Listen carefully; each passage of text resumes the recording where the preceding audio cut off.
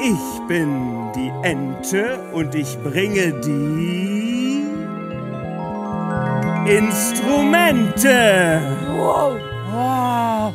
Sie hatten einen Wunsch frei. Einen Wunsch. Der Fischer und die Ilse wohnten in einer kleinen, in einer klitzekleinen, in einer winzig kleinen, mit dem bloßen Auge kaum zu erkennenden Bruchbude.